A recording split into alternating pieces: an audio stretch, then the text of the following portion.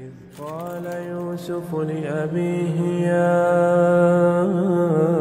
أبت إني رأيت أحد عشر كوكبا إني رأيت أحد عشر كوكبا والشمس والقمر رأيتهم لي ساجدين.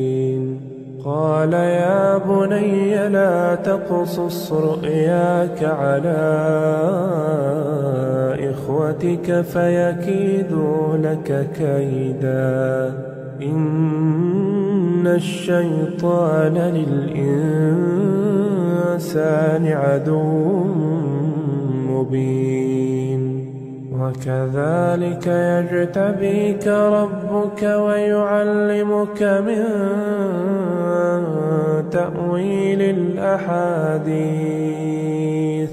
ويتم نعمته عليك وعلى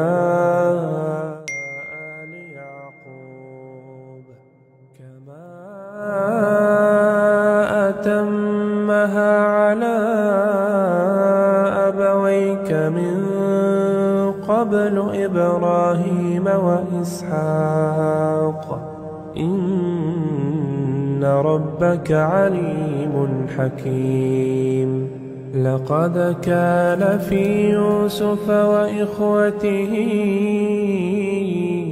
آيات للسائلين